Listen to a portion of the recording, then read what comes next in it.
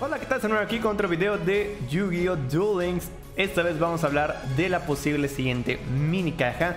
¿Qué es lo que podría traer? Ojo, esta vez lo que vamos a analizar de información está un poco más disperso.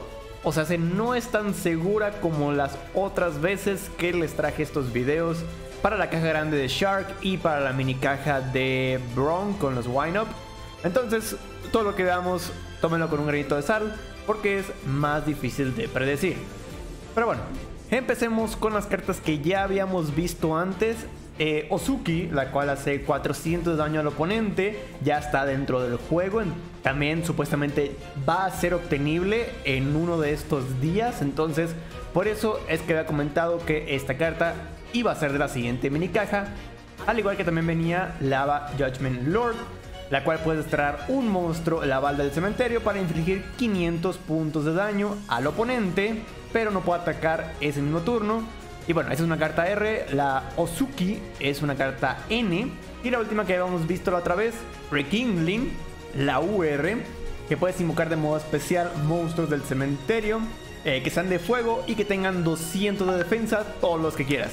La verdad es que la más importante es esta, para hacer muy buenas jugadas, ya sea que uses a los monstruos en ese momento, para sacrificarlos, o para hacer X, Y, Z, o para hacer sincros, lo que tú desees.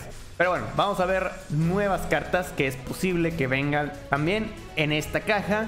Ojo, son puras cartas Ns y Rs, así que todavía esperamos muchísimas cartas buenas para que vinieran en caso de que todas estas tres cartas sí vinieran en la siguiente mini caja.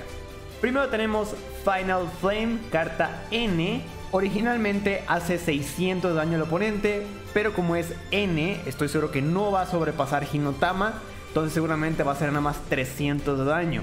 ¿Quién iba a pensar que Hinotama iba a ser la carta que hace más daño de todas las cartas comunes y corrientes de daño de efecto? Antes siempre nada más decía, ah sí, Hinotama, por meme, pero ahora creo que ya es como una carta que realmente algunos decks SIDAS van a poder meter.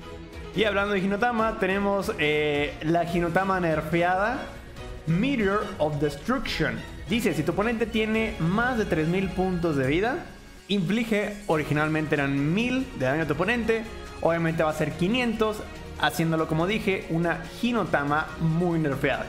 Esta también es una carta N, así que, pues me, no esperábamos gran cosa de ella, ¿verdad? Luego tenemos Flame Bell Commando. Carta N, que fue cambiado hace tiempo, pero hace poquito, creo que en la pasada fue agregada al juego, no me acuerdo por qué. Pero bueno, aún no ha salido. Esta es una de las cartas que va bien con la UR, ya que tiene 200 de defensa, entonces se puede invocar gracias a la carta de magia.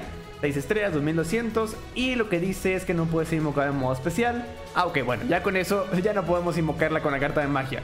Vale, olviden lo que dije antes.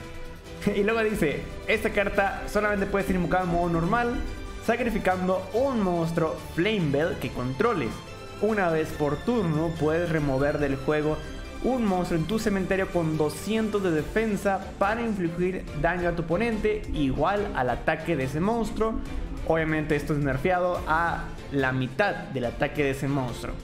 Entonces, eh, está bien para cuando tengas un monstruo muy poderoso en el cementerio. Ejemplo, si tienes un Flame Bell, que casi todos tienen 200 eh, de defensa, y que tenga 3000 de ataque, le vas a quitar 1500 de vida. Entonces, eh, está decente, pero bueno, es N, ya que no se puede invocar de manera especial. Luego nos pasamos a los monstruos X, Y, Z, los Exit. Esta es una carta R, la Val Val Ignis. No sé si lo dije bien, pero bueno. Esto vendría bien con el otro Laval que vimos antes, que también es R. Y este necesita dos monstruos de nivel 3. Dice, si esta carta ataca o es atacada, durante el damage step en cualquier turno, puedes desacoplar un material de esta carta. Y si lo haces una vez por batalla, esta carta gana 500 ataque hasta el final del turno. Ok, no está mal. Lo bueno es que si tu oponente la caga y podía pasarte incluso 2300 de ataque y te ataca con un monstruo más débil, es como que la cagaste porque puedo hacer dos veces la desacoplar y voy a tener 1000 extra, tendría 2800. Entonces, tu oponente tiene que ver, si sobrepasa los 2300, pues es como que, eh. Pero bueno, es una carta R porque es nada más beatdown, nada más te sirve para golpear. Ahora, si puedes equiparlo, como por ejemplo algo que te haga tragar dos veces, Igual, puedes acoplar en esa misma batalla, bueno, en ese mismo Battle Phase más bien, eh, las dos cartas y tener 2800 para tu ataque. Segundo ataque. Y por último tenemos Infernal Flame Vixen. Monstruo Pyro que necesita dos monstruos de nivel 4 que sean de tipo Pyro precisamente. Flame Bell y algunos también Laval eh, cuentan como ellos. Igual la carta mágica recuerden que revive monstruos Pyro, así que eh, te será sencillo convocarla ya con la carta de magia. Y lo que hace es que una vez por turno puedes acoplar un material de esta carta. Esta carta gana 500 de ataque hasta el final del turno del oponente. Cuando esta carta con 2500 de ataque o más es destruida, selecciona 3 monstruos en cualquier cementerio y destierra esos objetivos. Ok, puede quitar un poco de cementerio. Y pues casi me va a tener esos más de 2500, ya que tiene 2200 más 500, 2700. Entonces está decente para tener como beatdown, creo que es mucho mejor que el anterior que vimos de rango 3.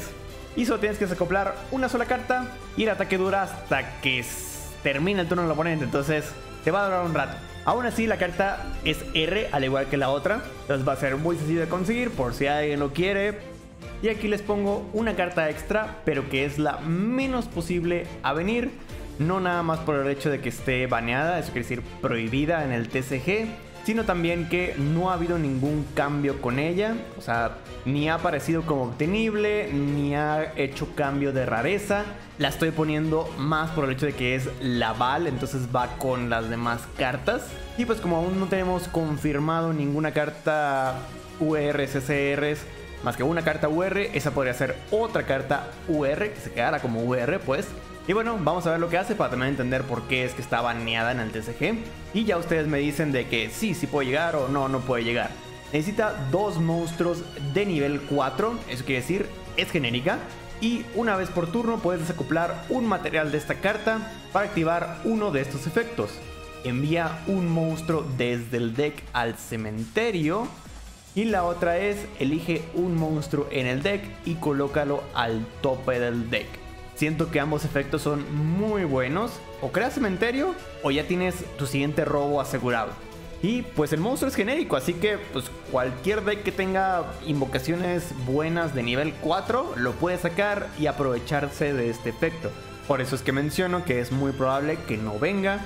Pero como dije, quiero escuchar sus comentarios. ¿Creen ustedes que sí pueda venir o creen que no vaya a venir de plan? Pero bueno, de todas maneras, en unos días yo creo que ya Konami nos va a confirmar realmente qué va a traer la mini caja, qué es lo que va a hacer la mini caja. Si no es en esta noche, yo creo que sería el día de mañana. Creo que son las dos fechas más probables, pero bueno, igual podría ser hasta el siguiente mantenimiento. Siento que ya es demasiado tiempo esperar, pero bueno, vamos a ver qué pasa en estos días. Por mi parte, eso será todo. Muchísimas gracias por ver este video. Recuerden dejarle like si les gustó. No olviden suscribirse al canal para no perderse de más videos, más información, más filtraciones y en este caso un poco más de teorías acerca del juego. Y nos vemos en la próxima. Bye bye.